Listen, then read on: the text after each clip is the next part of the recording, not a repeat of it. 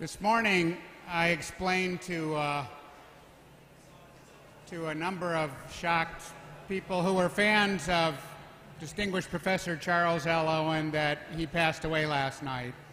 So I'd like you to know that as a tribute to Mary Owen, his, uh, his, his beloved wife and now widow, um, we are live streaming this portion of the, of the event so that Mary can hear from, uh, from Dr. Bezerra and from John Pippino uh, the ways in which we're trying to honor our great friend and, and, um, and, and gifted and distinguished professor for four decades here at the Institute of Design, Dr. Charles L. Owen.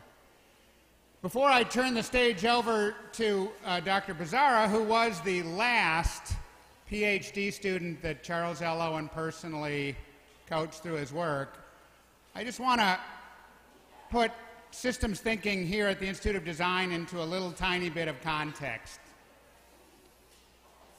One of the first things we tell all students is that when they get a design problem they're supposed to solve, they need to think of it at two levels. One level is what's the problem, and the other level is actually more important. It's the question that you should always ask when, in the course of human events, have human beings ever encountered a problem like this? Of this level of complexity, of this level of sophistication? About how many factors am I going to have to nail in order to have a reasonable, thorough understanding of this problem? And what we tried to do is to give every student at the Institute of Design the ability to swiftly and with discipline mentally sort any problem that they encounter into the right bucket of how tough this problem is. And in general, the buckets go like this. If there's 12 or fewer factors, then you can pretty much nail it on the back of an envelope if you know how to do it. We call that a Doblin sort. If the problem has between, say, for instance, 10 and 50 factors, you need much more special weapons and tactics and Vijay Kumar, uh, here with us now, and generally considered to be the world's leading expert in design methods, has created the world's best methods for that class of problems symmetric and asymmetric sorting matrices that can help you to break the problem down into its constituent parts and pieces. But then there's this whole other class of problems that have more than 50 simultaneous factors and maybe as many as 400 simultaneous factors. Think about, for instance, designing a space shuttle, or a nuclear powered submarine, or the entire surgical operating theater complex inside of a major university based hospital system. These are tough problems, problems that don't allow themselves, as we learned from Professor Irwin, to be solved by any group of people, however talented, unless they use special approaches. The two most respected approaches in the world are one that emanated from the former Soviet Union, which is called TRIZ, T R I Z, and the other is called structured planning, which was personally built and pioneered over three and a half decades by Dr. Charles L. Owen. Now, for those of you that have never heard of either structured planning or TRIZ, you, you want to make sure you know about it, because literally as we've learned from Terry, the odds of us having any chance of solving a problem like climate change in the time that we have, uh, which I think is about negative 10 years, um, without using these kinds of advanced methodologies is zero. Now, the people that love TRIZ are often from, you know, sort of the Soviet era countries, and there's a good reason. I don't know if you're aware of this, but the way it works in the former Soviet bloc is that if uh, some of you had designed, let's say, a bridge, and that bridge ever fell down, well, the Soviet authorities would come and find you and your team, and they would bring you to the rubble where the bridge collapsed, and they would line you up in front of it, and they would shoot you. And as a result, engineers in the former Soviet countries really were quite keen on learning how to do things that would actually function. You know, they wanted to build bridges that would stay up instead of fall down. And so that's one of the reasons why there was such an enormous demand around the world for mastering TRIZ. Here in this part of the world, structured planning has a bit more momentum, all because one guy just kept asking the question how do we break down the really tough problems and solve them for real? And nobody has a better take on that, really, than two guys in this room, Dr. Bezerra and Vijay Kumar. Um, and we are lucky to have both of them in the room. But I'm going to turn it over first to you, Charles. If you could give us a little sense of how Chuck Owen challenged you and changed your life, I think it would be a gift to all of us, especially on this particular day. Yeah. Thank you, Larry. Thank you. Um, it's a very tough uh, day. I lost my mentor last night, and uh, but I, I think the the best way to honor him is going forward and sharing ideas and talking about the future, talking about ideas optimistically and, and think. And, and, and that's my goal.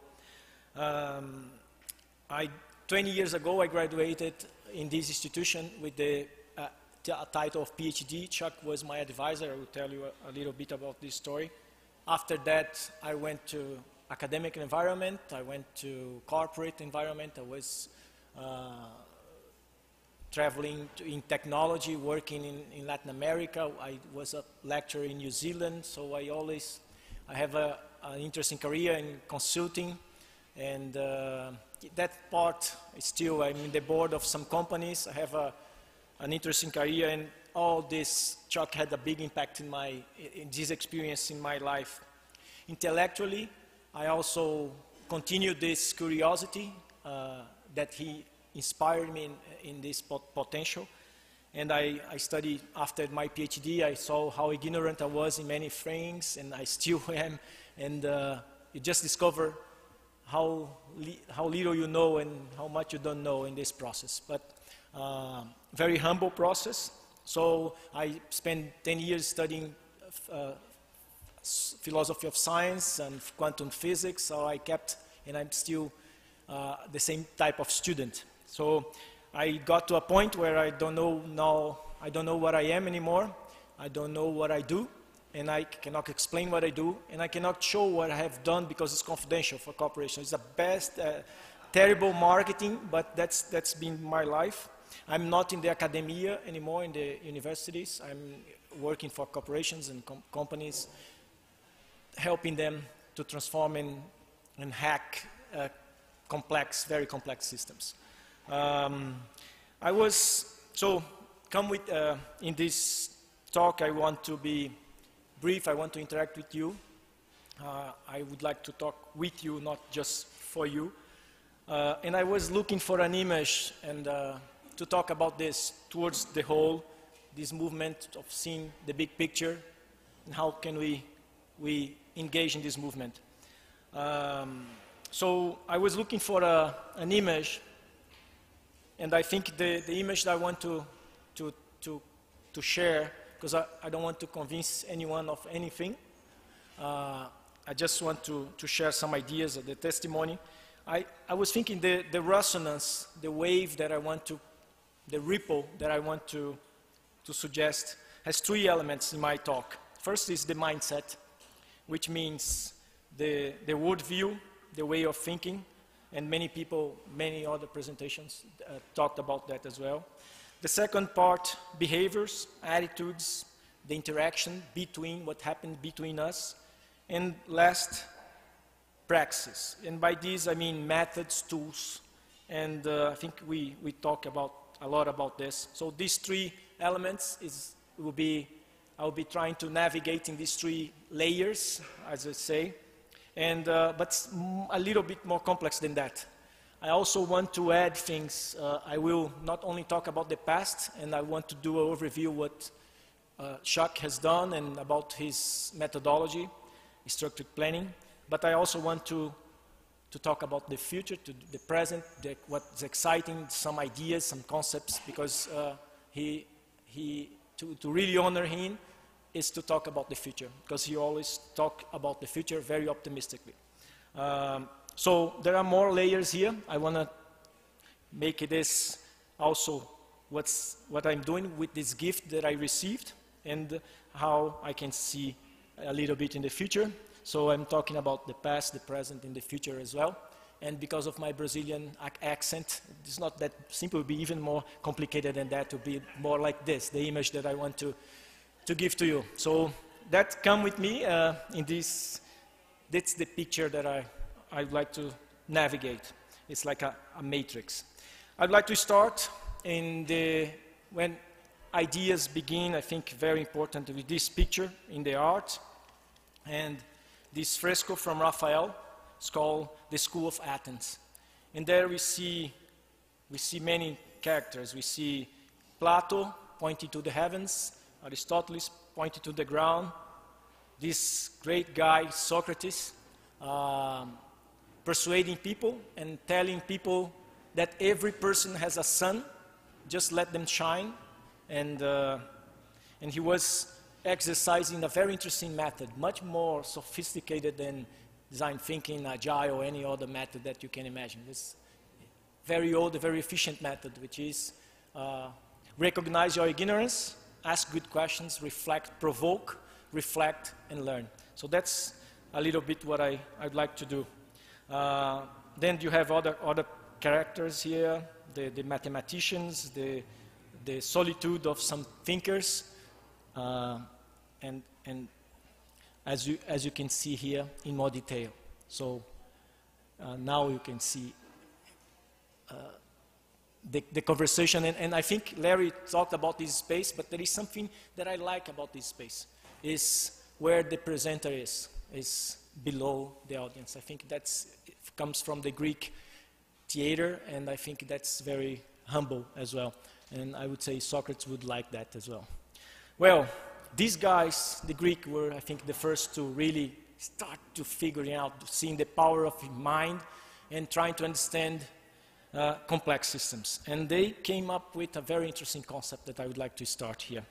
First, they said, look, there is something which is the brick, the matter, the substance, where I can measure, and where the movement is quantification. I want to quantify that. But also, in another extreme, there is the house, where there is order, there is a relationship between the bricks, where emerges a pattern where I want to qualify. So these are very interesting one movement, very interesting measuring things and quantify things, and another one of, of qualifying and understanding the relationships of them. Okay, the, uh, the Romans came, and they were very much in the first step, they were pragmatics, as they called themselves, and they saw this knowledge from the Greeks, and they said, look, anything that is useful for building bridges and arms, it stays, the other stuff just burn or get out of here. So some of those knowledge, the other knowledge that was not useful for war, uh, escaped um, from some people to Middle East. And uh, well, when they, the Roman Empire really needed to deal with complexity, with logistic, and understanding systems, complex systems, they couldn't. There was a moment that they couldn't handle the level of complexity. They couldn't understand the order and the relationships between things and they fail. Uh, the knowledge that uh, was hidden in the Middle East came back to Europe after that and uh, was useful to, to be part of the creation of uh, Renaissance. So all the, all the relationship, understanding the patterns was useful. The qualification aspect was back to the, to the agenda. One guy who really understood that track, the stream, was Chuck Owen. This is a picture at uh, Otago. I was in New Zealand and I invited Chuck to come, and he came with Mary.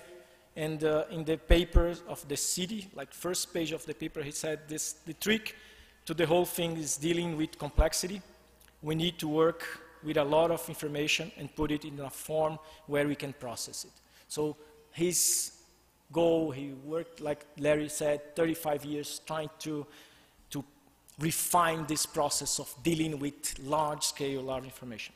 I want to briefly show you an overview of his method his life, but very briefly to understand using his decomposition, his structure, uh, a little bit about education, about his experience, some awards, some behaviors, and talk a, a very quick overview on structured planning.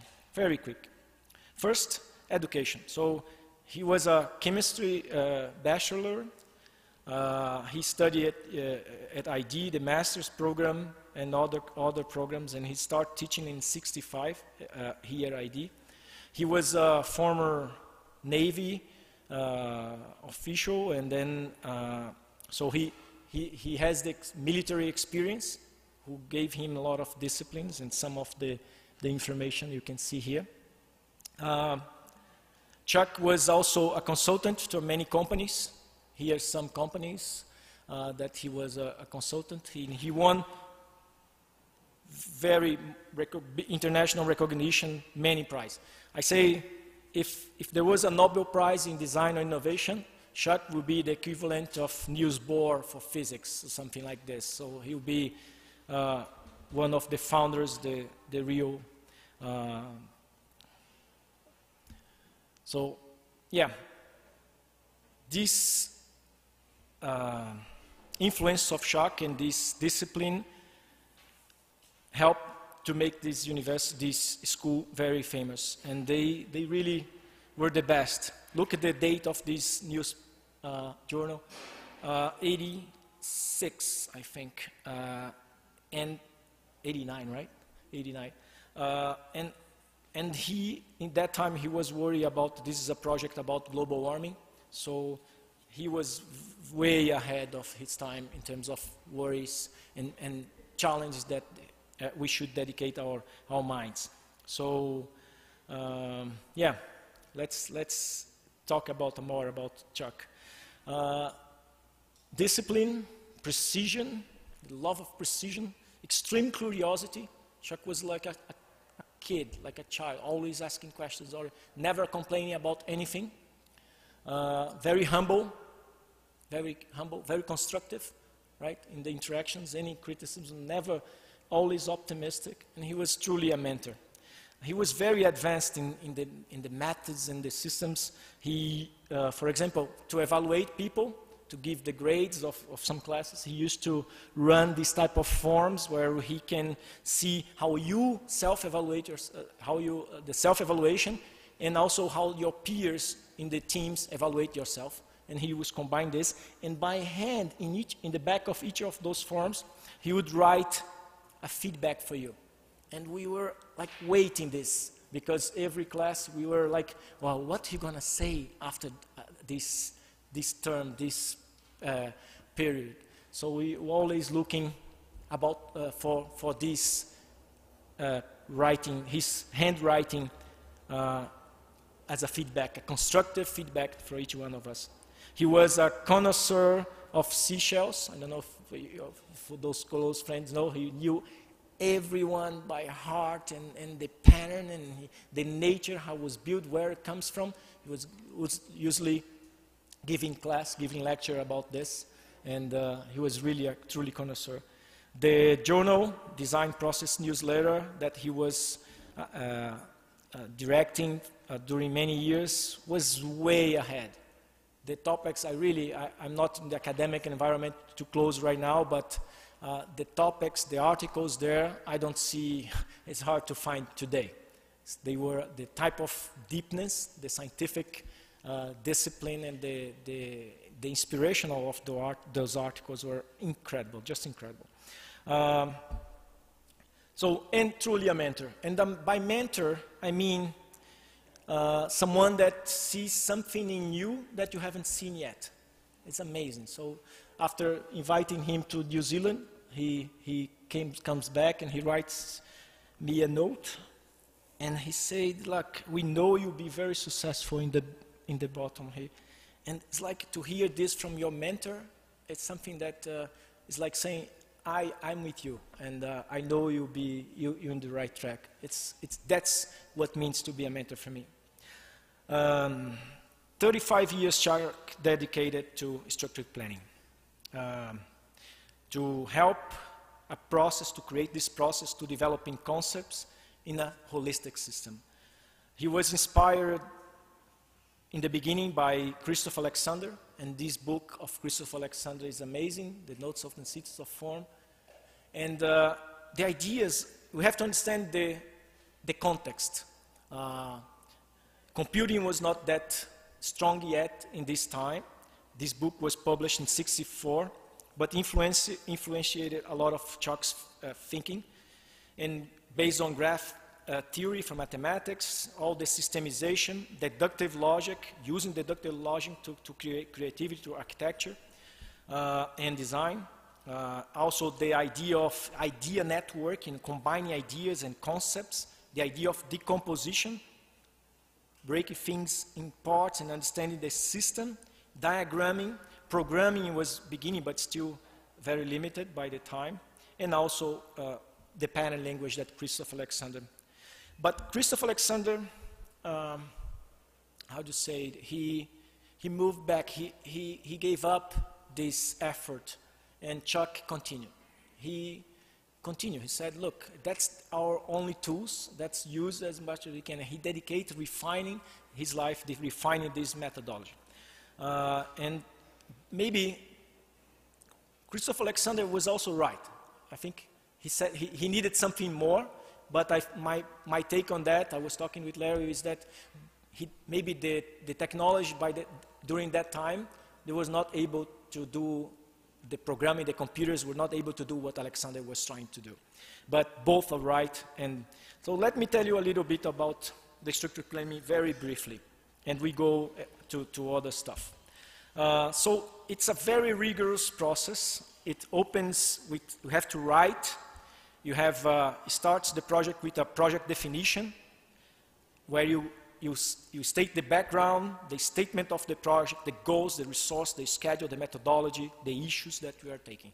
And it's a very rigorous process, the, the sources of information, the resources that we're going to get, the calendar, who is in the team. It's a clear document for, for this. Then comes what he called the defining statements, where you also have to fill the forms in a very detailed manner, where you have to, uh, all the teams have to understanding the, who, who is the contribution, who is bringing the issue, what's the question at issue, what's the position you have, is a constraint or something is a directive, is an objective, uh, what alternative positions do you have? So it's like a dialogue. It's a, it's a framework to starting a very uh, interesting, deep dialogue, and it's very rigorous, as I said, exhaustive, it's very intense, and, uh, and also all the backgrounds and arguments position.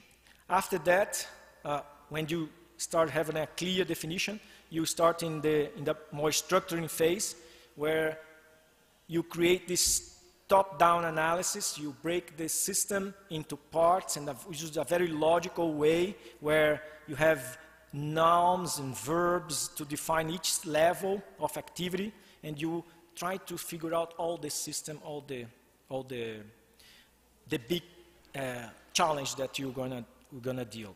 So it's, it's, it's the beginning, and this help us to understand the activities, investigate, and the activities the activities brings the insights, insights connects to the ideas. And then all in these uh, activities, you defining the factors that you want to deal and the solution elements that start, that which are the ideas that you start to, to, to, to play. Uh, after that, you, Chuck wrote two big uh, interesting software programs, computer programs, using Fortran. Uh, so the first one is Relatum, and it's the idea of interaction, of synergy among ideas, how one idea connects to the other one. I know I'm, I'm, I'm going too quickly here, but there is a lot of, of things behind. I just want to give you an overview. And uh, you start to having people, teams, scoring ideas against each other, seeing the synergies, and all this software start to relate and combining and uh, decomposing this into layers and, and, groups and clustering this. Another software that he uses is, is uh, VTCON, which is the idea of clustering layers of clustering. Then you have a phase of, of condensation that also runs the VTCON.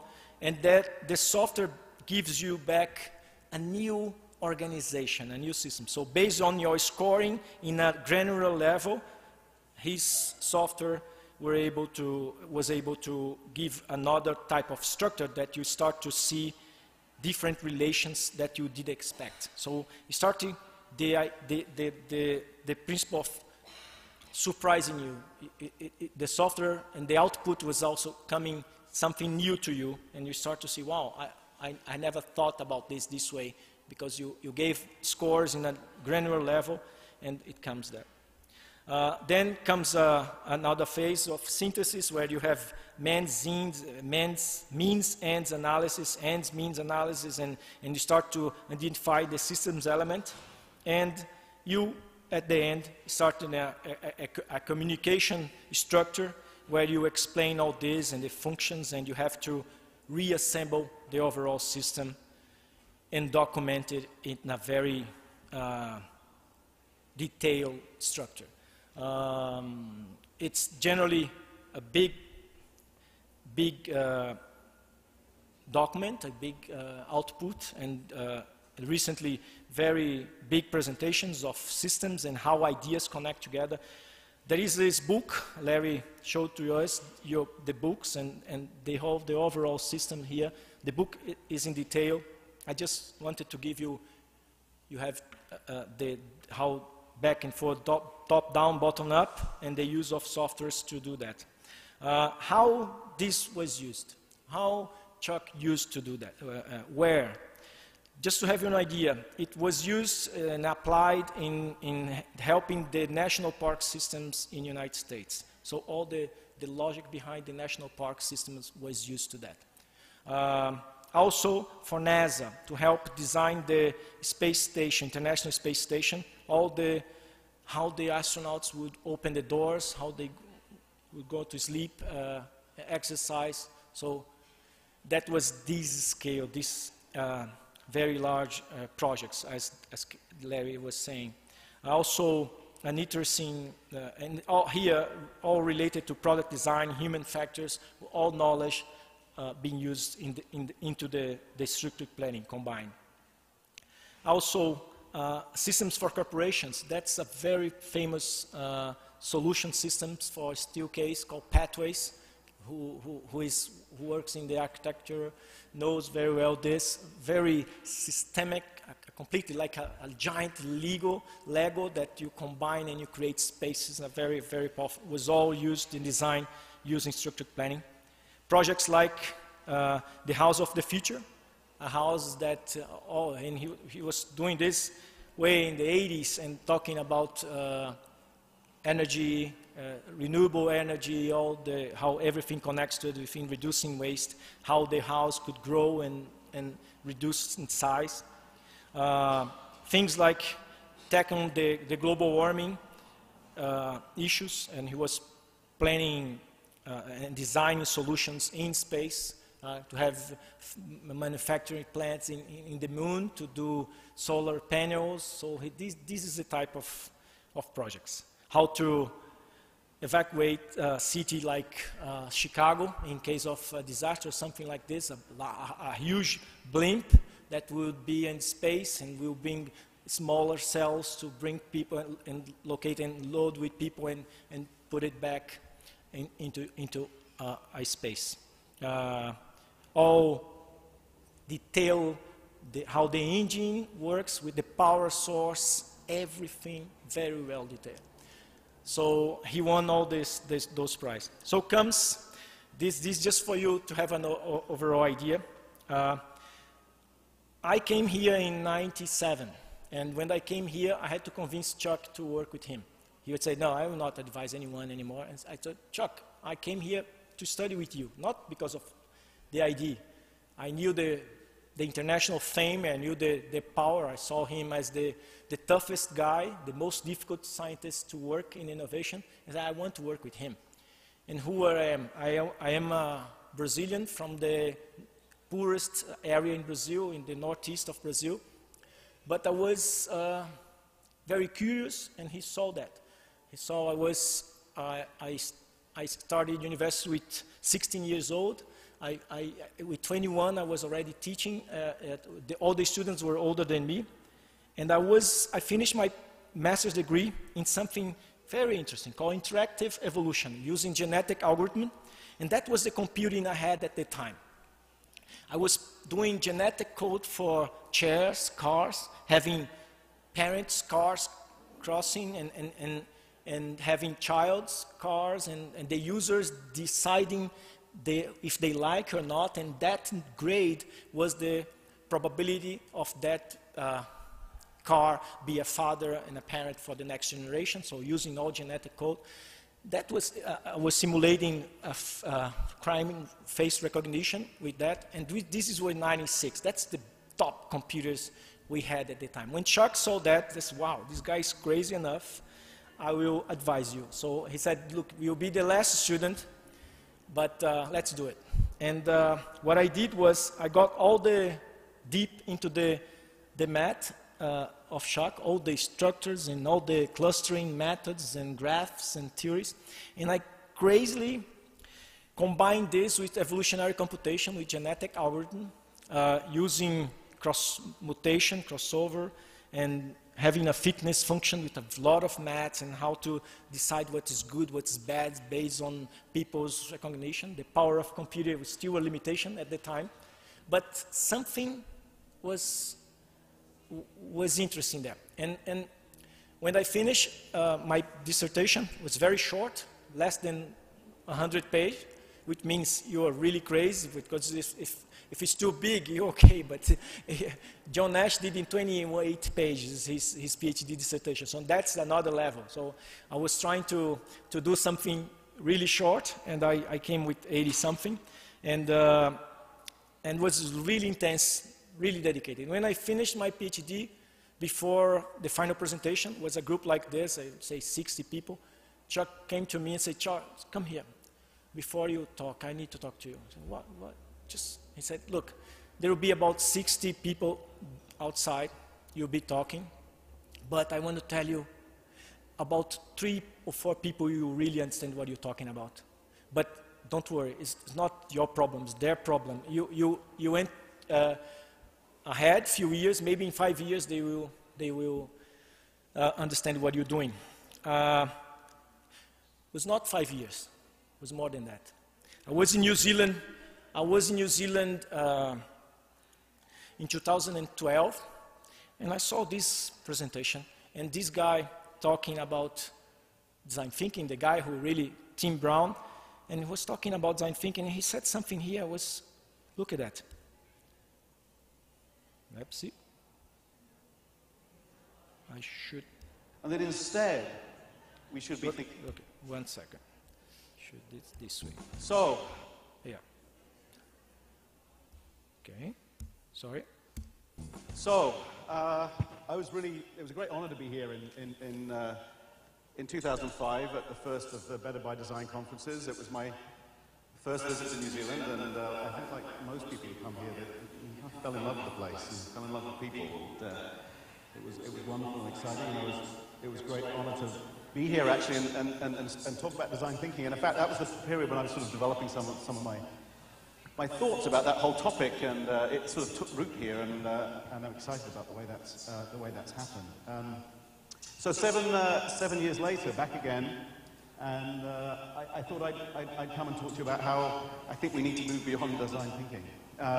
So sorry about that. Well, he was sorry about that, but he gave uh, what his view about the future of beyond design thinking. Look, look what he said. And that instead, we should be thinking about something like this, code, in this case genetic code that we should be imagining the outcome of our design more like genetic code than blueprint, more like a set of instructions to let things go off into the world and, and, and behave in certain kinds of ways. It's a difficult idea, and we're not yet quite ready to actually design the genetic code itself. Not quite, but uh, he had no idea what he's talking about, but uh, there's something cool here, that he's into something that is very powerful. And I think now we are ready. And I want to show you what we are doing right now with the computers, the computers today. Being generative. Generative is- design tools use a computer and algorithms to synthesize geometry, to come up with new designs all by themselves. All it needs are your goals and your constraints. I'll give you an example. In the case of this aerial drone chassis, all you would need to do is tell it something like it has four propellers, you want it to be as lightweight as possible, and you need it to be aerodynamically efficient. And then what the computer does is it explores the entire solution space. Every single possibility that solves and meets your criteria. Millions of them. It takes big computers to do this. But it comes back to us with designs that we, by ourselves, never could have imagined. And the computer is coming up with this stuff all by itself. No one ever drew anything, and it started completely from scratch. And by the way, it's no accident that the drone body looks just like the pelvis of a flying squirrel. It's because the algorithms are designed to work the same way that evolution does. The algorithms are the same. It's very simple. Uh, they, they start with a random population, and they, instead of searching in all solution space, it selects a random set of population and start matching them and having cross mutation, which adds diversity, crossover, combining, and selecting what is good into a fitness function that they go to the optimal without having to search in the whole solution space. It's a very smart strategy. When I saw that, I, and was in 96, I started working in, in this, in design with genetic algorithms. I saw that that's, that's clearly the smartest way to search, to optimize, to do anything, to solve anything. Now the computers are coming. Uh, the last intel artificial intelligence jump we had was in multi-layer neural networks. The neural networks was almost in the 80s, were all, all, all, almost forget, forgotten. And some guys insisted, insisted, and they create multi-layer, and with the power of computing, the power of data, now we have the level of in- intelligence that we are managing to do, to, to get, and all these, these uh, new tools and new applications that you see. However, the real jump will come very soon, very soon. When we start having the power, and I'm not even talking about quantum computing, I'm talking about the computers we have today. When we start with the amount of data that we have, and we start combining with neural networks, combining evolutionary computation. The last book of Marvin Minsky, which was the father of neural networks, was about the emotion machine. In the first chapter, he trying to have a logic, a system, a programming uh, principles to programming love was about love how to make a machine to have feelings. Uh, we are very close uh, something if this combined uh, neural networks with this emotion programming with genetic algorithm wow this this machine will pass through us in a speed that will never i mean uh, we will be behind in any sense. In any sense. In creativity, we will be able. Uh, there is only one hope in my experience for, for us in this competition is uh, connecting quickly uh, the machines with us. Let's, let's join them. Uh, that's my, my, my experience in, in, this, the impact of what's coming here. And when you talk about quantum computing is even, and we, want that. We are working hard to do that. Everywhere I see people trying to create these machines. We are systemically trying to do that. Well, I have, uh, based on this, I have also, just to show you and where I want to get with is the mindset. I have experience in executive and I applied Chuck's methods and I, a, a, a lighter version. I stopped using because it was a rigorous process and outside the academic environment I couldn't afford to use it in the time I had, but I, the principles, the structure, the way to decompose systems to see everything connected, I used to space, designing spaces, product design, service design, interface, strategies in corporations for many different projects. I cannot show you all the details. Uh, also, start designing this to design organization and systems transformation and see relationships and, and combining all this and still using genetic algorithm to, to understand people and to, because we're going to see where the complexity comes from. So to map the totality and the same, same idea that Chuck insisted during 35 years refinement, which is how can we qualify things, how do you see order, how you connect things, concepts, and see the relationships among the parts.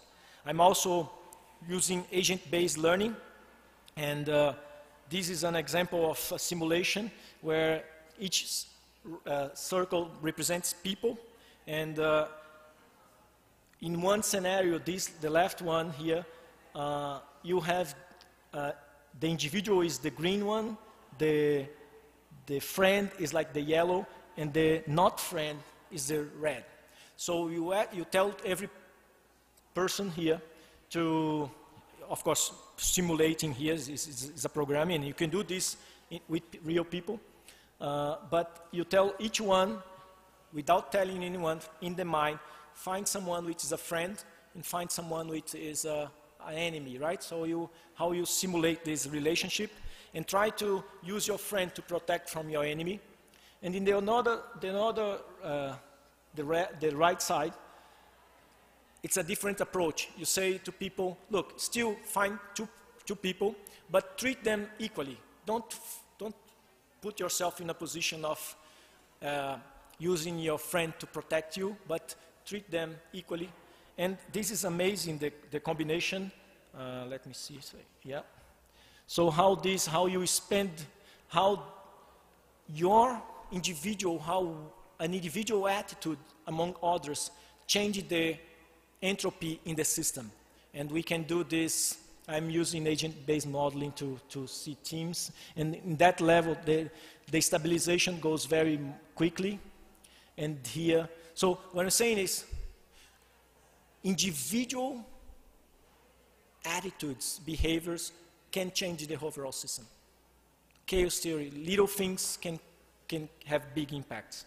Well, enough of this. I want to go to the mindset stuff, but today I'm, I'm working, I'm creating this company called Society of Minds, and I have cells of intelligence of crazy people like myself in mathematics, physics, evolutionary computation, comp all, the, all the computing AI stuff, and we are, we are dealing with challenges in financial markets, uh, agro-business, in the planning, the strategy for food, and also changing law in Latin America, or law, um, the, the legal procedures, uh, and how to get speed and intelligence to do that. Um, well, I don't know where, where uh, there's uh, many PhDs here. I find I, I, I love to find talent and, and, and, sharp minds and disciplined minds and scientific aspects. Uh, the mechanisms are the same of complexity, and I want to come to a, to a, a, a conclusion here, which is there are three mechanisms gen that generates complexity that Darwin explains in, in 1859. Uh, mutation, and we have uh, technology which is offering new possibilities. There's mutation right there.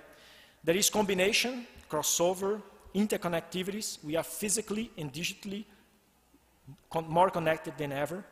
And we have also selection, which is competition in a global scale. So we are artificially in our work, in our organizations, simulating three very powerful mechanisms that generates complexity. So in other words, things will be much more complicated, much more complex. There will, in any, in any context, there will be more brands, more competition, more lack of resources. That's the second law of thermodynamics. So, uh, and how we, how we approach that situation, how we handle this, how we, we influence transformation in an in a increasing complexity system. We have to, to be very smart. Um, I want to tell a story, and you might know, but there, is was, there was a city in, in India uh, where New Delhi, that was in the, when India was colonized by the, the British, and uh, there was an overpopulation of uh, cobra, these snakes, and uh, the officials, uh, the, the, British officials, had one idea and said, look, let's make the population kill the cobras. And they create the policy of, uh, so you receive money with the, with the cobra, it's a, it's a known story, uh, when we bring dead cobras. And after months, after three months, they saw the numbers and said, look, by the, the amount of people in New Delhi, all the snakes, all the cobras should be dead by now. And keeps coming, new cobras. So anyone could be, to, could deduct the, the population start to creating cobras, right? So they were trying the best of their intention to solve a problem and the, the explosion and uh, the population started creating cobras like pets. And uh, when they saw that, they canceled the policy of, of incentivizing uh, co cobras. And the population, instead of killing the cobras, they, they, they let the cobras go in the forest, and, and, and, and the situation really worsened and was five times more cobras. This brings me a very powerful dif difference in worldviews. And I want to talk about you, which is the core of how I see this mindset thing. And these two worldviews are very extreme, and I want to talk about this. First one, and maybe these officials were using, states like this. There is one reality. This reality is homogeneous, is objective, and it is stable, right? And the key questions in this worldview is is true or false, is right or wrong. Aristotle, which I spoke in the beginning, was kind of the father of this. And he said, there is this or not this. That was one principle of the law of the thinking. But the questions were true or false, right or wrong. And if it's false, and if it's wrong, there is a problem. We have a problem. And if we have a problem, the solution is avoid it, fix it, correct, educate, punish, that's the solutions we come from. In this view, crisis is destructive, right? We don't want, we don't want to have crisis. It's not good. It's, it's destructive. I call this view classic. It's re reductionist, is oriented to the parts, is linear, it's, it's intent to control the system, it loves defin defining, defin defining and, and, and define things and and put labels, It loves measure and loves quantification. We love quantify. We love the, the, the numbers, the statistics. That's a very powerful worldview. But there is another one which I want to con contrast with this one. That there is not one reality, but multiple realities. It's never homogeneous, it's always singular, it's never objective, it's intersubjective. The notion of reality is created among us. Even the, no, the concept of self is built in the interaction among us. It's never stable, it's always dynamic and adaptive. And the key questions are not true or false, but works or doesn't work, makes sense or doesn't make sense. And in this view, Aristotle was a fool because this or not this is not enough. Could be this and not this, this and that, neither this, neither that, a bit of this, a bit of that, sometimes this, sometimes that. And the most critical thing here, the difference here is, in this view, there are no problems, only patterns. There is no problem. So there is no problem, there is no solution, there is only a way. And the way is learn, evolve, grow, self-organize, and adapt. It's the way that nature use. Crisis here is never destructive. Is crisis is opportunity. It's an opportunity, it's, it's the systems telling that there is a better solution. And I call this view quantum. It's a holistic, it's participatory, it's non-linear, it's based on relationship, it's the knowledge that all is flux, and what I want is qualify. Qualify, see the relations among things. Of course, when I'm flying, when I came here flying, I want that the, the guy who designed my plane use this side of the view, right? That's what we want. Uh, however, I cannot apply this view here to my marriage, for example, or to, to education of my son, because it's completely different. Where I'm getting here is that we get in trouble when we, we mix when to use one view or another view. And I want to, to, to, to, to make a cut here, which is, I say in the very being, uh, very dry, let's say, or scientific dry, but I would say this side works very well for complicated things. Cars have problems, watches have problems, airplanes have problems, but marriage don't have problems. They have patterns. Child education is not a problem. It's a pattern. There is a pattern here. And I want to talk more about pattern. Uh, and we were very much educated, brainwashed about with this side here. What we received in our education was really all this view from the left.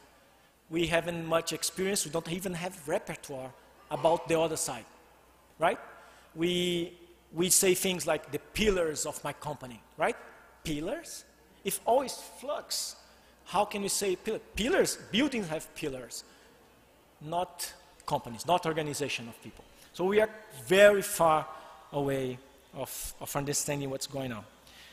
Another thing, what define complicated? What's the cut of complicated and complex? One key element is that three mechanism that I said. Mutation, crossover, is life. Is, the, is this dynamic process. Also, because this dynamic process allows order and disorder coexist. Uh, in complicated things, order and disorder doesn't coexist. In complex things, they do. You can love me and you can hate me. You can, you can right? You can uh, be in, engaged in the company or, or, at the same time be disengaged about another thing. You can be so. And I would say women uh, are very in, in, in advance here because I think they operate much more on the complex side, on the quantum. I think they use quantum logic, and we have to catch up here as well. Uh, order and disorder, the coexistence. We don't have repertoire for the complex.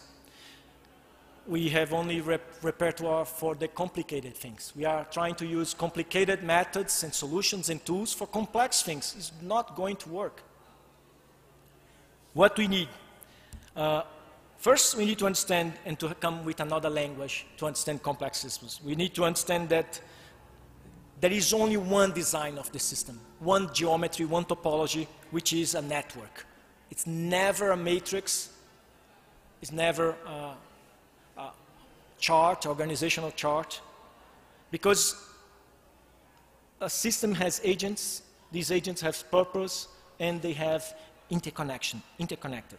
It's so complex, the combinatorial explosion here is huge. You know all the, the Chinese farmer tale, right? You know, the, the you know uh, there was this Chinese farmer, and uh, he had one horse, and the horse ran away, and then the neighbors come at night and say, look, how sad, your horse, your only horse, ran away. And he said, maybe. I mean, so sad, terrible. And he said, maybe. Next day, the horse comes back and brings six horses, new horses, wild horses to his farm. And the friends know that, saw that. At night, they go in his house and say, Look, how fantastic, awesome. You had one horse, now you have seven horses. That's amazing.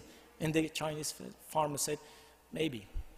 Next day, his son is going to try to hide a horse, a wild horse, and falls from the horse and breaks his leg. The, the, the, the friends saw that at night in his house, always at night in his house. And then they said, terrible thing. Your only son broke his leg. It's terrible. You were devastated. And said, maybe. The next day, it's always in the morning, uh, the, the Chinese uh, army comes to find young people to go to the war. And when saw in his house, he's with a broken leg and, and doesn't, and the, the, the friends comes and say, look, it's, uh, it's fantastic. And he said, maybe. We never know, even if the good that happens with us in the system is really good or is bad. We don't know the consequences. It's so unpredictable. But we know that the system has a field. And in physics, field means a zone of influence. It's a field. It's an invisible zone of influence. And, it, it, and I think the, the field influence has so much power. Sometimes we think we are influencing the field, but the field is influencing us. The field decides who is going to win the election. The field is very powerful, and we are not able to, to understand the field. The field has regularities. These regularities have patterns.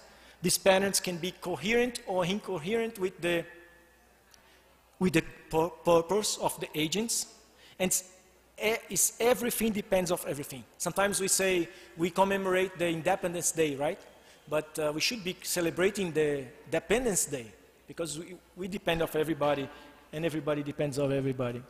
So it's all about the pattern of interactions um, of this. And there is many dynamics here. There are, there are positive feedbacks, there are negative feedbacks that keeps the systems stable. Of course, you know all, all about this. But one point I want to make is Socrates said, the source of all evil is ignorance, and the source of all good is knowledge. I would say for systems, the source of all good for systems is coherence. The source of all complex, uh, bad things in complex systems is incoherence. You want to, to improve, evolve your systems in, in, in organizations or even at home, start by taking the incoherence. Because if you say something and you're doing something and you're acting, if the agents are acting incoherent with the declared purpose, you'll never go far. Agents are very smart. They create snakes, they create cobras. No one is silly. Socrates used to say that uh, there is a sun in everybody, and I think there is intelligence. We, we don't lack power, we don't lack creativity. That's, that's the wrong uh, side, the, the, the classic side saying that we are not enough, we're not creative, we're just one piece in, in this engine. And uh, the quantum side said, no, no, no, you, you are very important. How to influence the system? That's what's the big question. How can we influence? We can never control. We know that we can control the system. And I want to bring a lesson from the bacteria. Uh, scientists, they put this table and they create some holes in the table. I don't know if you saw this. And they, they said this. They put zero antibiotics here in the corner, in the uh, and one times antibiotics, 10 times, 100 times, and 1,000 times. And they put some bacteria here. And suddenly the bacteria spread out in minutes in this area. But then something happened. The first mutants, look at the word, mutants, entered the news. They were, they were individuals in the former population that was able to handle the challenge of one-time antibiotics. And the same, they multiply and they do that. And the same thing happens for 10 times. The mutants enter the, the holes and, and, and multiply. In 11 days, they managed to handle a thousand times more. Not everybody that was in the initial uh, situation, the population is, is there. But the mutants are the key. There is only one way to influence a system, is by virus, is by contagious, by connecting with someone that thinks like you and, and, and start in, in, in connection, and exploring, connecting, and opening the connection and talking the same language.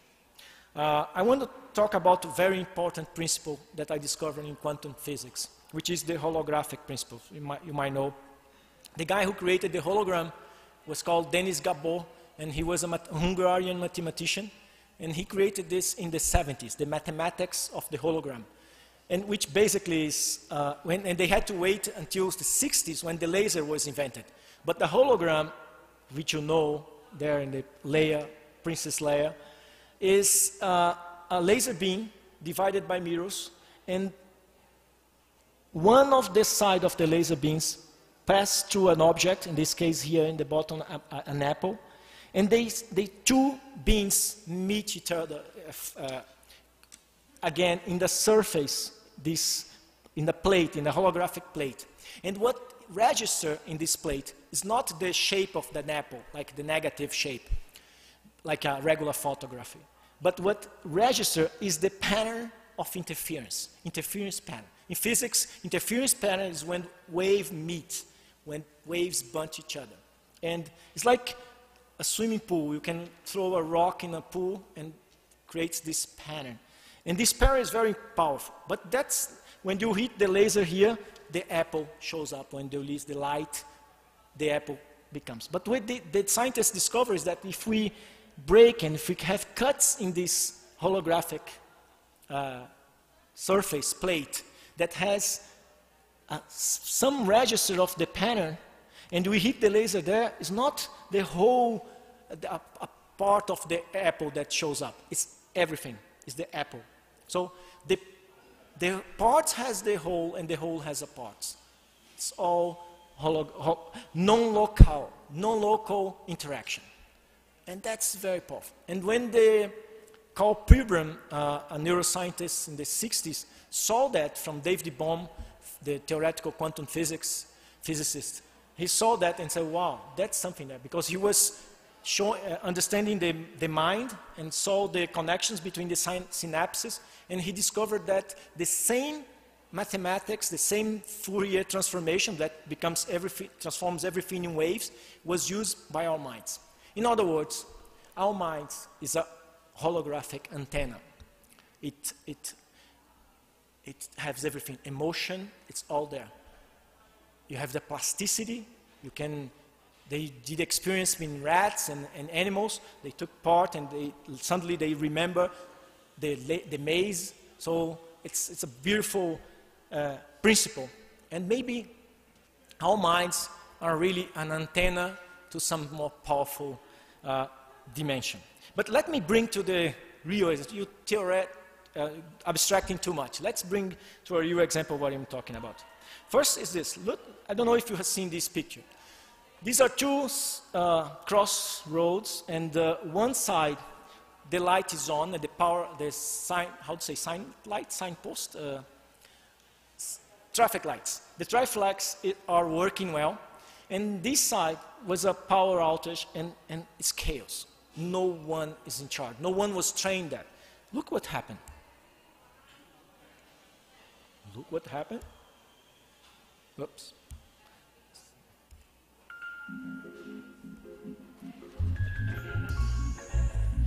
The other side we know.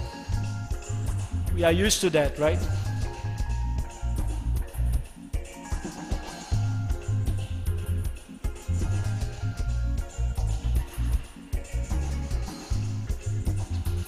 Free negotiation.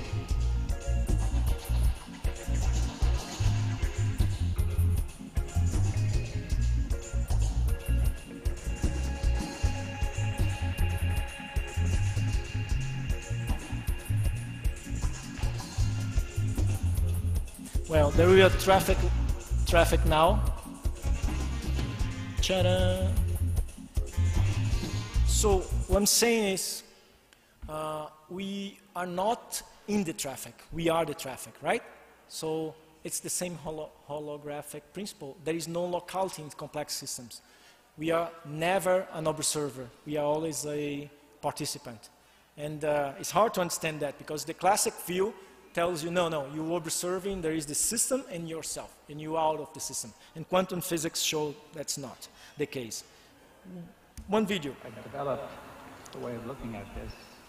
Dave Bohm. Implicate order that's based really on the quantum field. And the way it works is to consider that there's a wave. You may think of this wave coming from outside the whole universe, which uh, converges to a point and then diverges again. Now, it, it, links everything. It means that everything is internally related to everything. Now, uh, one of the uh, images I gave of, of a piece of paper you fold a cut, when you it, you find a pattern. Now, I'm proposing that basic laws of quantum mechanics can be understood that way. That We can think of some sort of unfolding into a way and then re-unfolds into something like a particle. So then each particle then unfold all the other particles. In, in principle, every particle will hold. It will matter, of course, which view we hold. If we hold a, if we have a view of wholeness, this will enable us to work differently from when we have a view everything is broken up. Now, the mechanistic view tends to lead to to support this fragmentation. That is, we know that our whole life is now fragmented. And we can see it information struggling with each other into all sorts of professional groups and uh, competition. Regarding each, and inside each person there are many fragments, different objectives and different purposes fighting each other. Now, uh, if we take the the mechanism, we may regard all these fragments as essentially real and independent, and then we can deal it. Uh, what we have to see is that these fragments are actually the result of our wrong way of looking at the whole. That uh, the made fragments, and our very action in response to this helps to break things up some more. For example, if we say the world is broken up into nations, we see each nation is independent. That's going on now. Us related from Let me, uh, the audio is not that loud. Let me try to explain what he, he called holomovement. And I think that's the key, uh, the best theory that explains everything in quantum physics is, is his theory. He said, uh, it's called the, the implicate order. He, he said that reality, it's like a, a wall, and we have access to this dimension, in this case, two dimensions.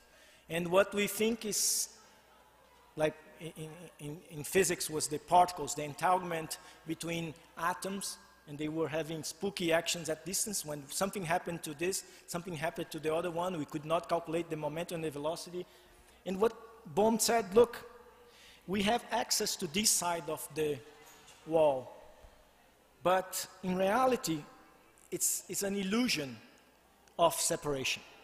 In reality, in, a, in another dimension, in a higher dimension, behind the wall, it's a, in a three dimension in this case, what, thinks, what we think is separate is the same thing. We, connect, we are connected to everything. The, any separation is an artificial division, and uh, fundamentally, we are connected. And we can go and go on the theory. To finish, two slides. One is, I think there is a way, and I'm experiencing doing this, that I discovered that's very powerful. I am a practitioner of Aikido, and uh, I think there is a gentle way to do that. And Morihei Ueshiba, when he was creating the Aikido, he was creating something to avoid conflict, to use the effort to stop the conflict, like a dance. And I, I, I found a very nice description of the, the law of the reverse effort. Let me see if I can read for you guys. The law of reverse effort. The harder we try with the conscious will to do something, the less we shall succeed.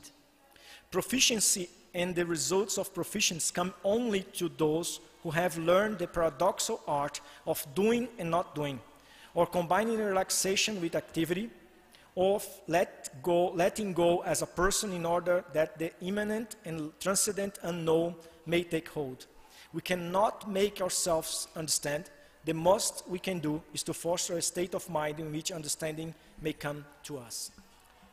We, sometimes we are working too hard trying to control the systems and spending a lot of power and energy.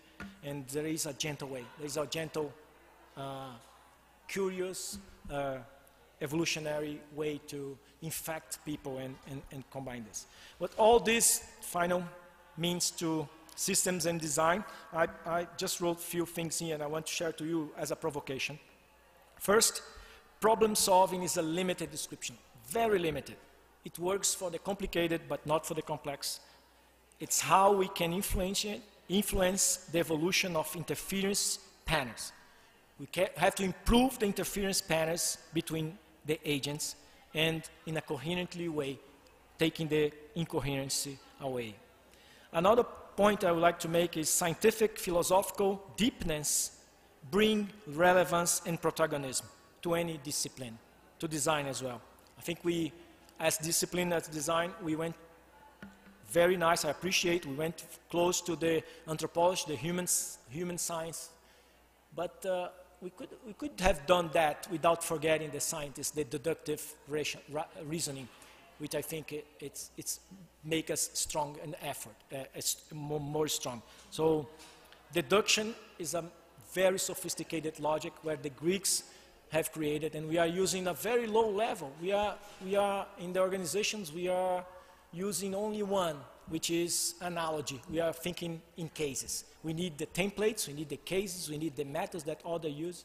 So it's a, the human mind has much more power to, to be used, as the Greek said. Another thing, uh, careful not to be seen or used just as a tool.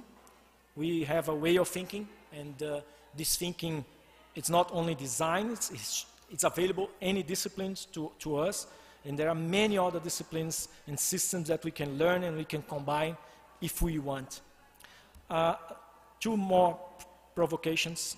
Lead the design of new interference patterns for adapting to environmental change. We have to do this everywhere, every day, and we have to use our influence to, to influence uh, organizations to do that. It's not, it's, the time is, is very, you have to learn to adapt to these environmental changes that are coming.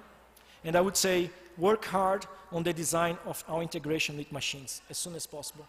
Uh, if we don't integrate with machines quick enough, we, I don't know what's going to happen. I'm very afraid. And I work with this stuff. I know the power of evolutionary computation. I know the computers that are coming, the, the uh, quantum computing power that we'll be able to do if we program emotion using genetic algorithm, using evolutionary computation with a, with a, a, a pepper of emotion in this, in this cooking, uh, it will be very powerful. We need to, to work as designers, we need to, to find a way to, to reduce this gap.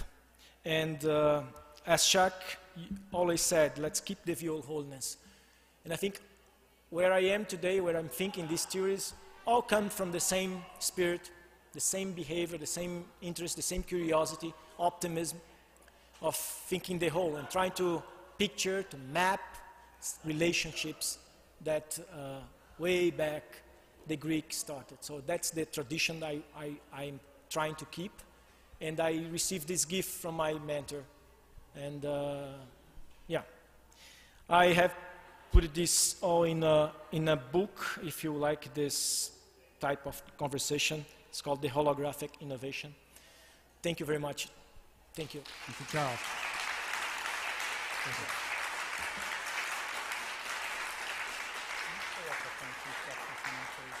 Sure.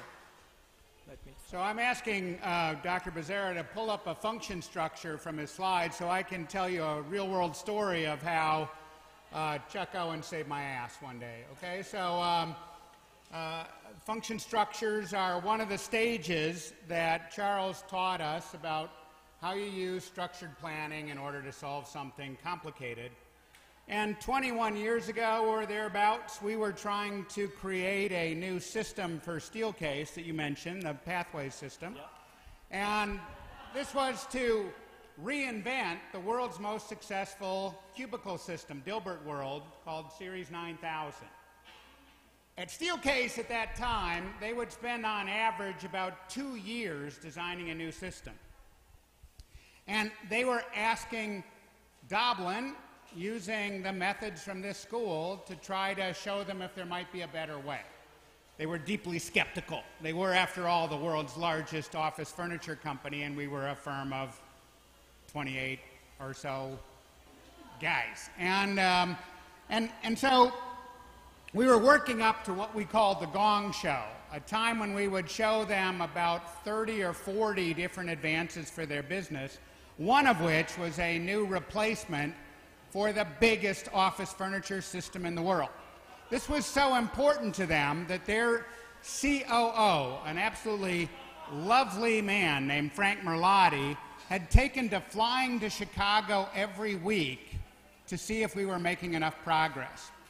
And we were two weeks away, Charles, from the climactic gong show where we were supposed to work uh, out 30 different major advances. And on the day that he was coming, two weeks ahead of the, of the deadline, it was a magic day for us because after weeks and weeks of brutal work, we had our function structure for the first time, okay?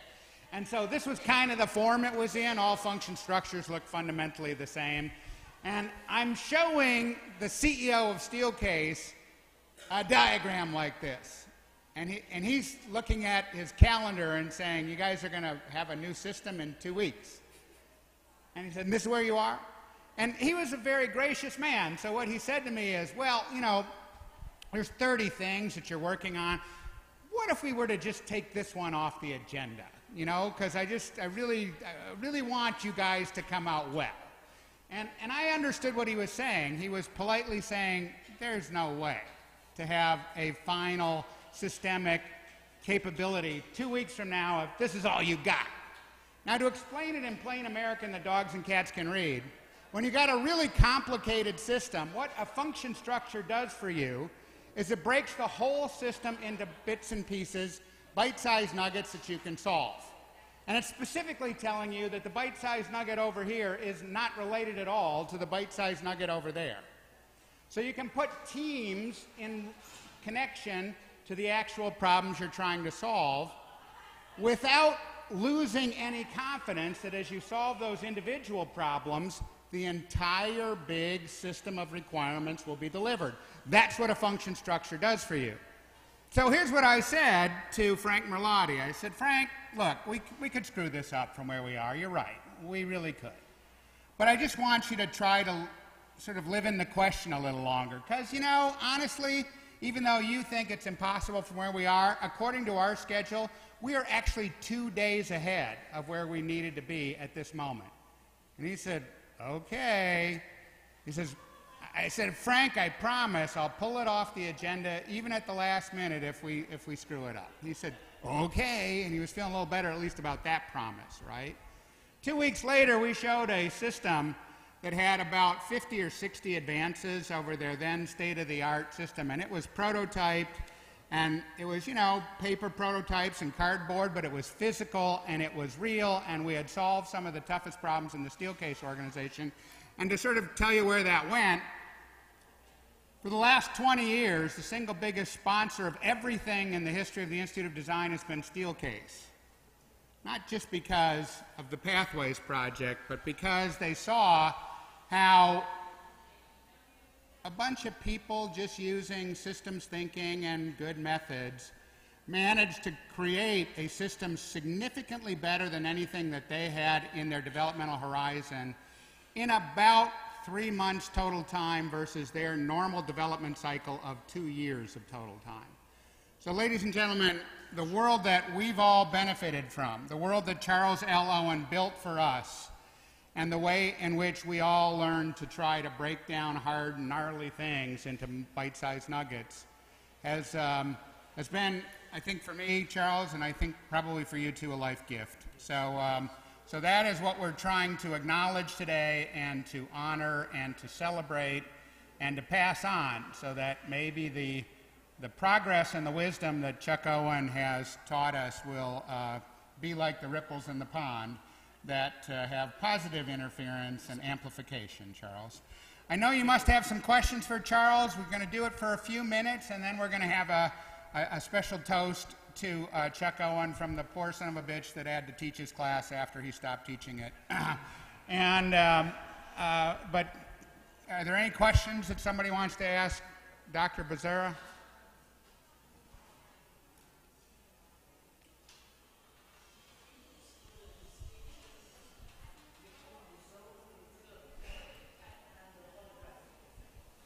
Zone of influence versus the holographic effect. Yes. Yeah, I think it's just a, a level of description, but uh, the zone of influence is the field. For example, in a house, there, there, are houses that, let's say a music, there are houses, the interaction pattern between the people in the house, let's say play uh, rock, is, is, is the, the, the output, the result is of the music is rock. In other houses are jazz. It's a, it's a, the dynamic is more slow, the interactions, like the, the, the, the, animals in the desert, in the, in the desert, is, is like jazz. So there are, so this is the, that's the music that the field plays. The, the holographic principle is more on the non-locality. Everything is distributed. So it's, it's, it's also a principle that is in the field, uh, but it's, it's a more focusing on the non-locality aspect, right? Everything is part of everything is there.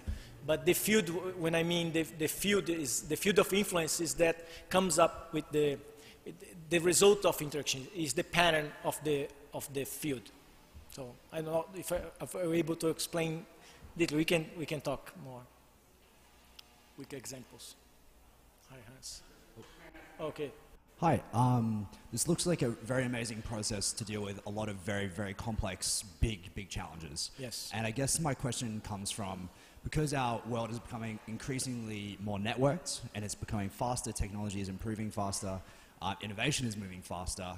How does such a rigorous process like this, which seems to take quite a long time, um, once it creates this output, which is proposing a new system or a new way of dealing with the uh, intervention, uh, how, does, how do you then iterate on that without going through this rigorous process again, Sure. uh, which takes a long time, and by that point you might be back behind the eight ball? Sure, I think it's still very powerful, and uh, it's based on the technology that they have, uh, Chuck had in the, in the time. I think the challenge today and the new tools that we have, we can do much more uh, powerful things systemically.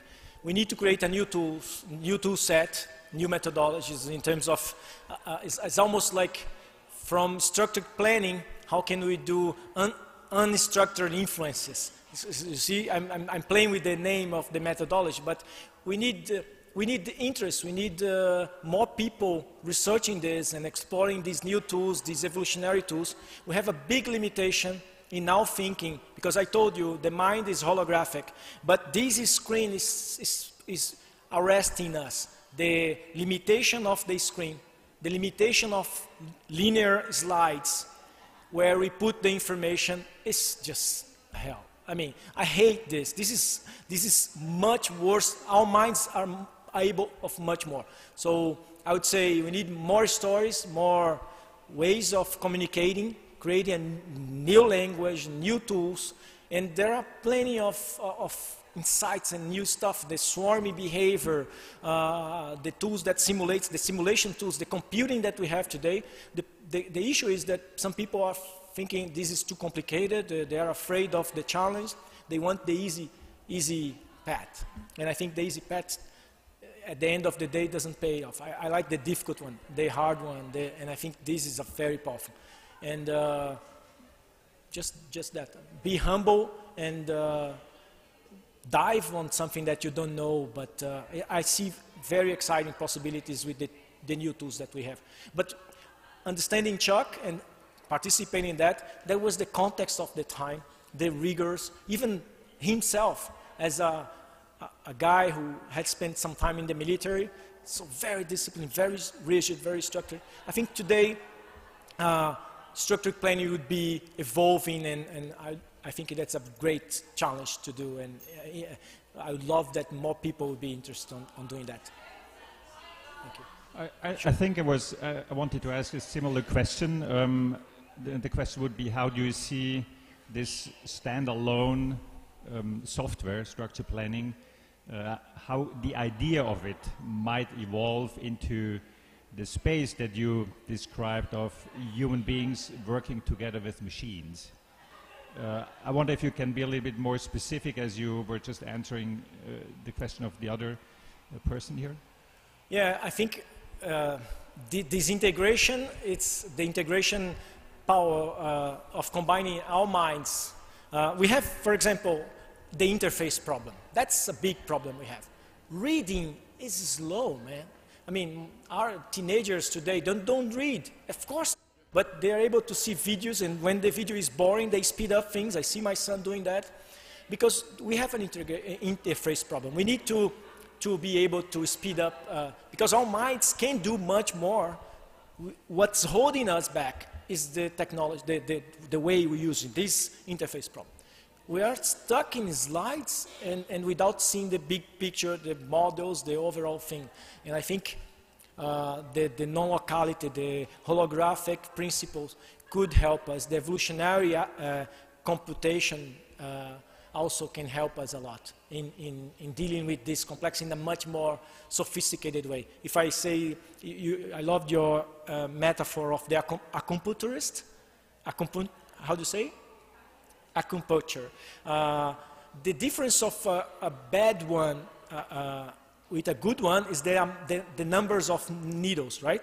Because the, the, the, the, the good guy just need one or two, but the, the, the not expert will, will put needles everywhere. So that's, uh, I think there are, there are plenty of opportunities to be very precise and with the new tools that we have. I'm very excited this, but we have many big challenges to, to deal. Sorry. Okay, the, practices of design have been moving to the culture of co-creation in the last 10 years, both with the dem- democratization of design thinking and with the new landscape of design moving from participatory to co-creation.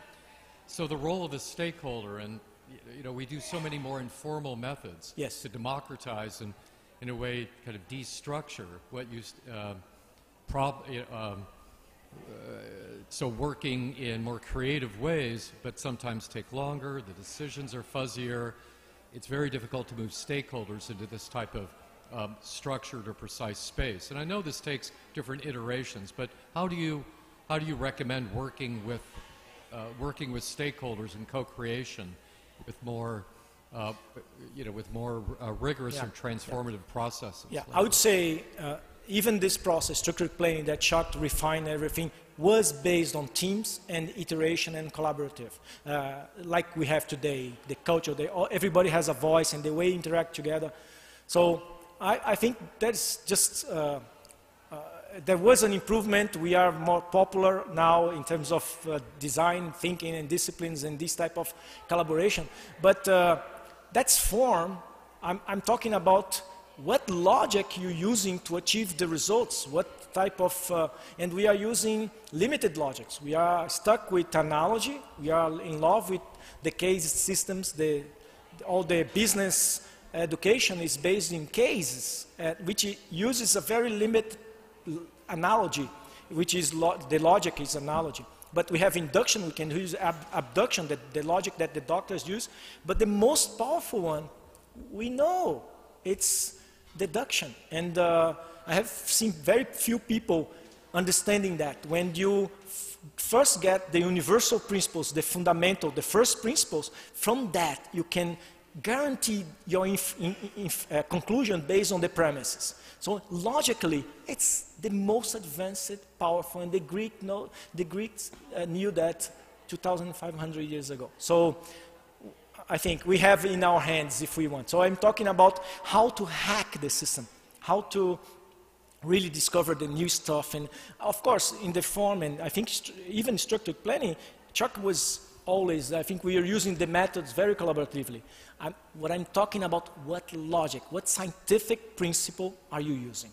And I think we are, we as a discipline, I saw a move uh, away from the hard uh, logical, the, the, the, sophisticated logic. That's my criticism. I, I, I, don't know if many people agree, but that's my criticism. Thank you. Yes, let's, not, let's acknowledge Charles. Thank, Thank you. you. so much. Thank you. Thank you, Professor. No, you did. Thank you. Thank you. I'm going out that computer. Yes, okay? yes. I am not going to do uh, Dr. Bezerra the uh, strange disservice of giving him a book. He already has one signed by the professor himself.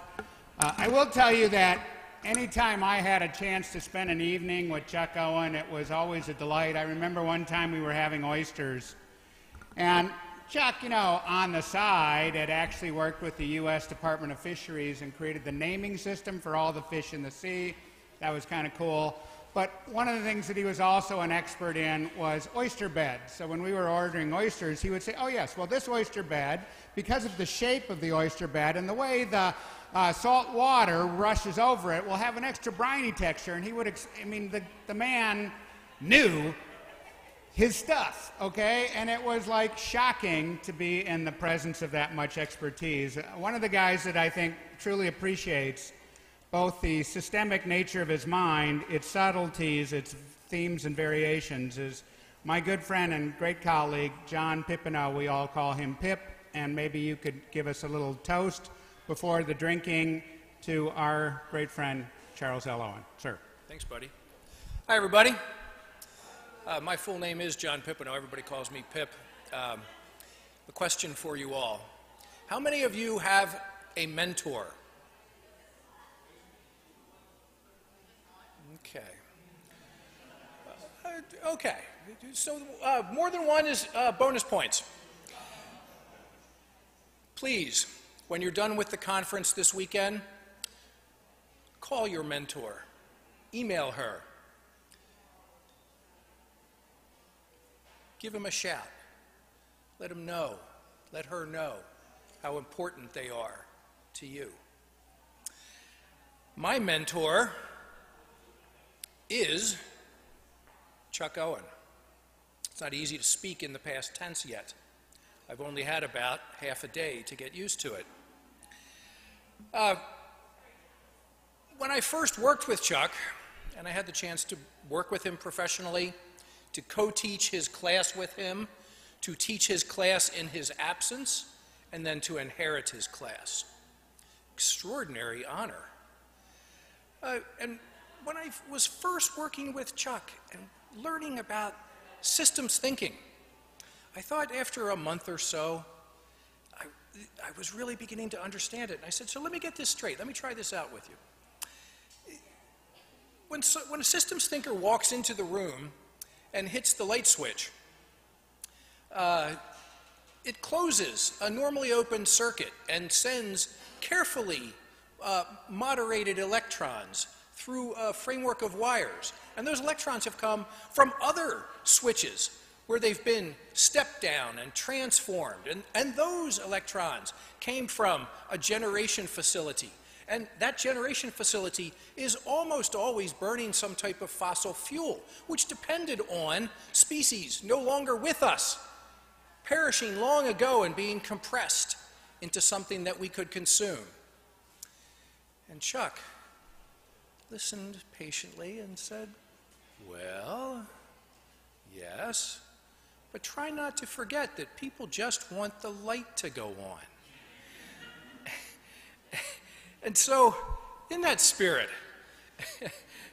that sometimes we can make things complicated, and sometimes we, in doing so, we forget how simple they really are.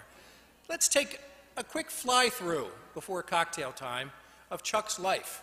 How did we get from a structure like this to a day like this when Chuck delivered his archival presentation, a tradition of IIT, and one where he shared many of the projects and methods that Charles has introduced to you. How did all this get there?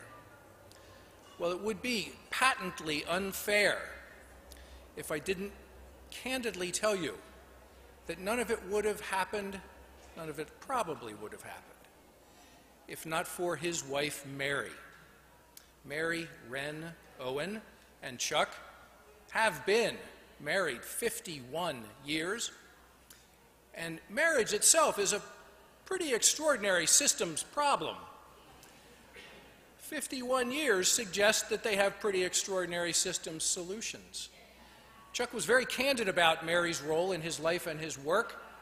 Uh, she was the one who got his programs to run for the first time. And he was very honest when he suggested that one of the brightest things an aspiring design methodologist can do is marry a really good computer programmer. so everything for Chuck revolved around pride of place. He was enormously proud of the place where he grew up. This was not his house, but it was right around the corner from where his mother taught school uh, in a town near Chicago called Skokie. And this is our friend, Chuck, in his youthful days when he decided to set out to start his secondary and advanced education. And so he came here to Crown Hall to pursue a degree at the Institute of Design, and he discovered to his dismay, he was a gigantic jazz fan, and he discovered to his dismay that Crown Hall, which is right here, had been built on top of a legendary jazz hall called Mecca Flats. And Mecca Flats is right out there too today. So Chuck, things didn't work out for him the first time at IIT. He went instead to Purdue, studied chemistry in this building, and when he left Purdue, he became a naval officer, rising to the position of chief engineer of the USS Mansfield. Trying to figure out what a chief engineer does is a pretty extraordinary task for people not close to these kinds of activities. For me, it was pretty easy. My niece is an officer in the Navy. I texted her and said, Hey, what does a chief engineer do? And she said, Well, a chief engineer is the third person in charge of any vessel at sea. They have the responsibility for everyone, the safety of everyone on board. But mainly, they know exactly why every rivet and pump is on that vessel, where it is, what it does, and what the consequences are if it fails. So, despite all of these activities in Chuck's life, his general sense was that he still had a great deal of ground to cover. And he thought to himself over and over again, still, my education is not complete. And he came back and joined this legendary photograph that also includes our old friend Jay Doblin. This is the faculty of the Institute of Design in 1966 on these stairs at that hall. And in those days, Chuck, with Mary's help, got the code to work for structured planning. And he spent several decades sharing it with students and asking himself, asking them to ask themselves again and again, what's the problem?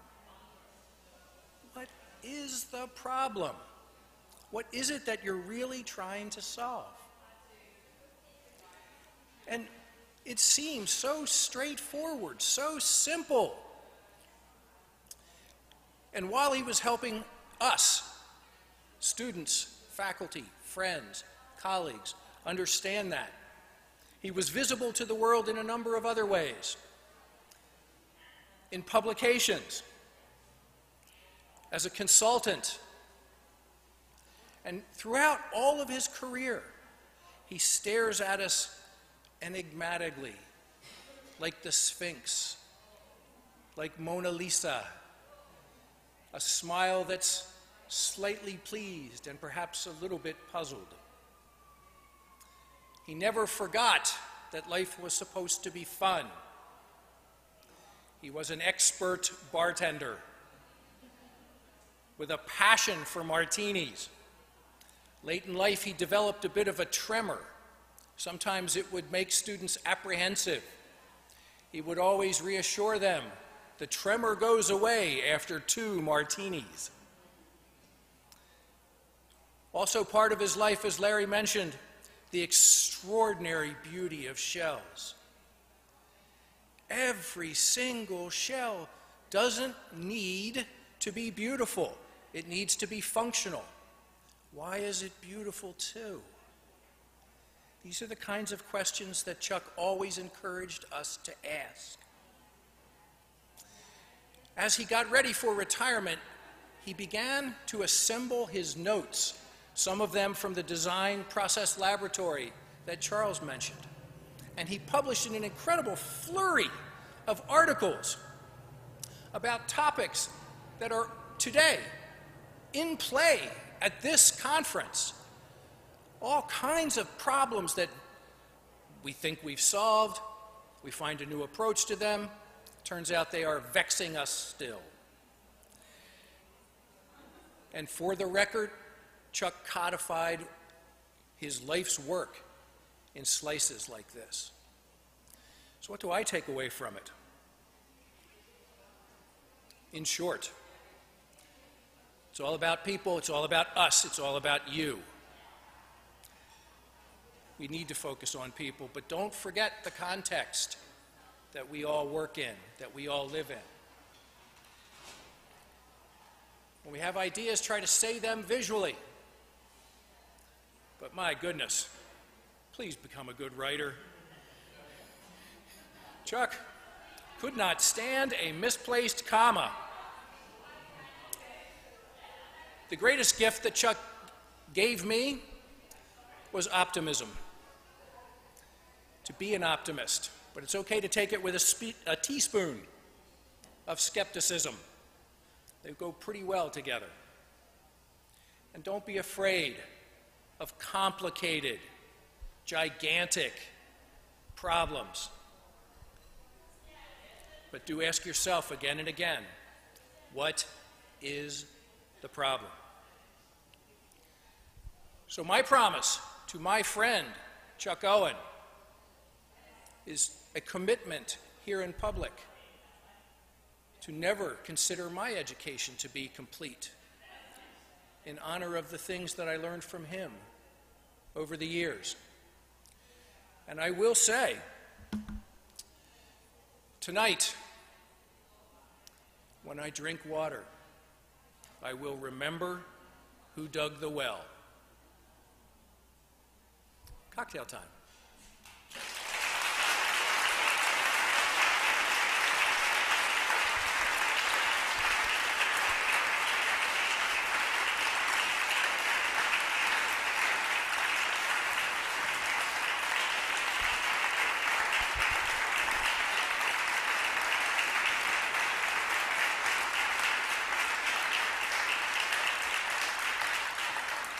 And so you all know, again, I mentioned this at the outset, uh, Mary has been watching us all on a live feed. So let us all send a little I have a picture here. a picture of Mary on the live feed. Let us all just send a round of applause to Mary, tell her we're thinking of her, and say thanks.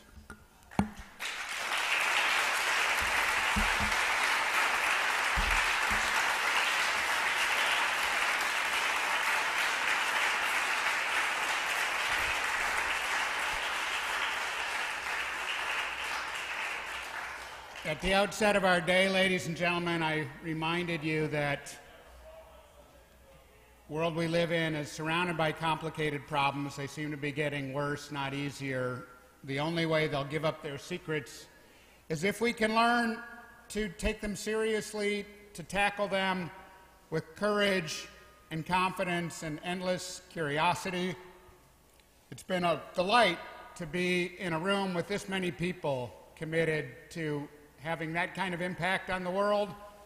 And I, um, I couldn't imagine a better way to celebrate than to do so by acknowledging a man who set many of us on that path four decades ago, long before most of us thought it was a reasonable or, or possible thing to try to achieve. So um, there's Mary. Uh, sitting with Mary today is the actual dean of the Institute of Design. Um, and I don't want to make any of this any sadder or more maudlin than we've already made it, but I do want to say it really is a giant pleasure to be among people that understand that the world needs design at a level that's deeper, more systemic, more comprehensive, more urgent than ever before. Um, let's begin tonight by having a nice set of drinks upstairs. Um, Carlos will give us some logistics in a moment.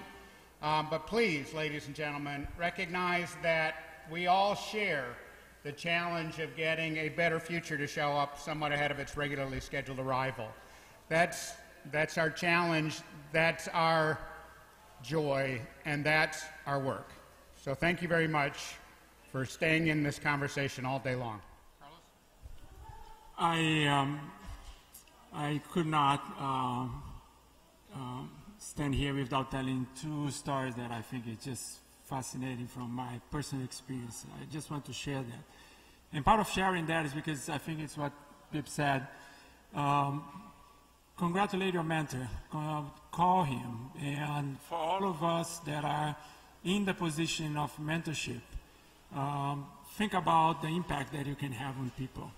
So for me, those are the big lessons that I had. And um, so when I joined the Institute of Design, and um, one of the uh, amazing experience was uh, Charles was here, and we have a group of PhD students. By the way, Chuck, uh, we never mentioned this here, but uh, Chuck is the one that planned and started the PhD program here at ID. The first PhD program in the United States was all envisioned by uh, Chuck. Okay? So 30 years ago, he started, and Charles was the first one to graduate from the PhD program here. Not the first one to enter, but the first one to graduate. Um, and Chuck envisioned this entire program of the PhD. And I, um, I always remember that uh, when we had to uh, present papers for conference, and we had to do an internal review of that paper here. So the internal review was nothing more than um, sitting down with uh, Chuck, uh, John Heskett, Sharon Poggenpohl, Patrick Whitney, and, um, and many that will be invited into that. And you will be bombarded by all angles and everything else. And after that, we always um, had that joke. It's like, why do I need to go to the conference after that review? So it for us was like, I don't need anything more than just kind of that kind of interaction. So that's one of the things that uh, stay in my memories forever because of the luxury of having this group of people in an intimate room um, having that kind of discussion through um, from 6 to 10 o'clock at night uh, was just like unbelievable. And a second one was on a more, personal note. It was we were in the um, La Salle building um, in the second floor, and the PhD students together with the faculty. The fact that they have their office, and we were all in the middle, um, so they look more like guardians for us.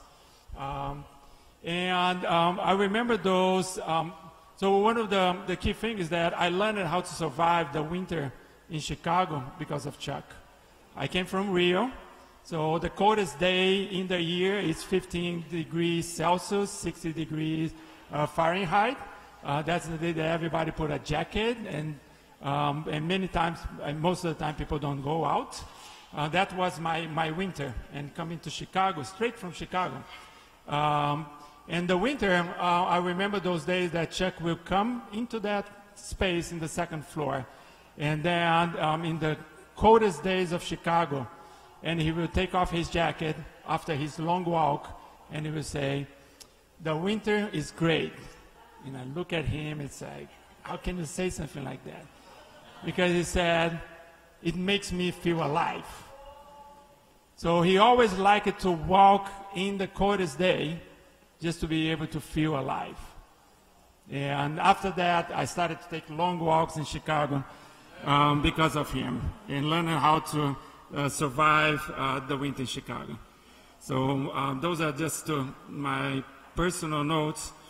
Um, just before we go for the, for the break now and for the celebration cocktail, I just, um, many of you have been asking about the book.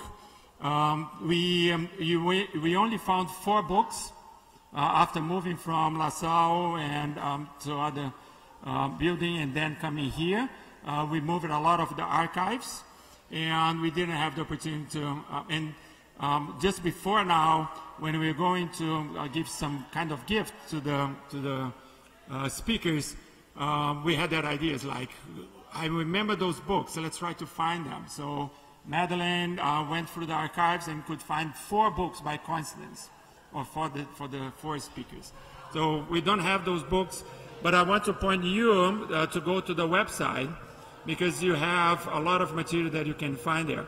So um, if you go to um, our community and you go to faculty and you go down, you're going to find um, Charles Owen here. And if you click on Charles Owen, you're going to have his bio. And here you can have all his articles. He was a prolific writer and he wrote extremely well. Okay? So um, interesting to think about that he was writing design thinking. I wonder how many of you have ever thought that design thinking came from a lot of his thinking. And you can find all that, and you can find projects, okay? Future of Living Systems, and uh, Project Phoenix, solar power satellite. And you can, this is a classic one from Chuck Owen. So go to the website, you can find a lot of this material. There's articles in PDF that you can download. And the book is just like a major compilation of structural planning. But um, as people are saying, before he, um, uh, after retiring, he just organized systematically, as he's always have done in his life, all the work that he has done and put that uh, together uh, for all of us.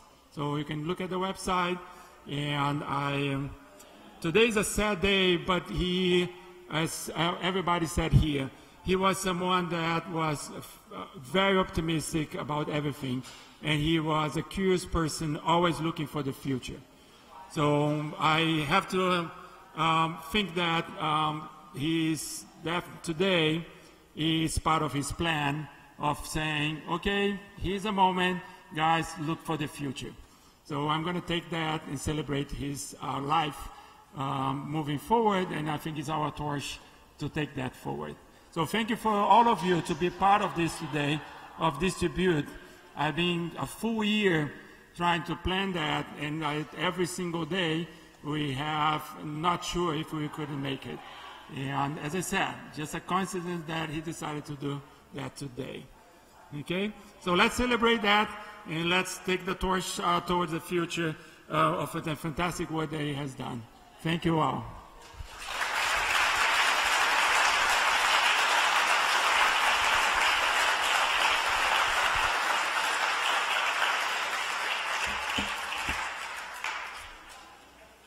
Just cocktails, celebrate, party. Um